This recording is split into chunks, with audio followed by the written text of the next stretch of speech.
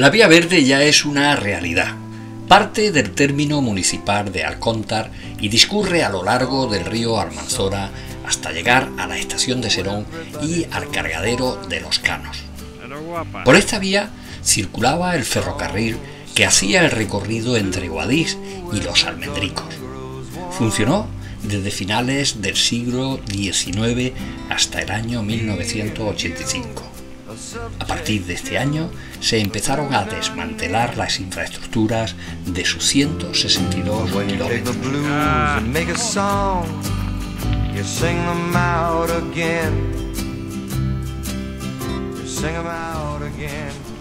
La Vía Verde hoy acoge el primer sendero del Día de la Mujer, con salida en Los Geas y llegada al cargadero de los Canos.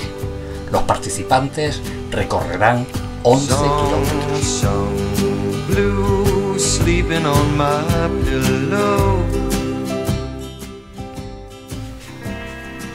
11 kilómetros de salud y vida saludable, a recorrer por deportistas, mayores y niños a pie o bicicleta y acompañados por un día de sol espléndido.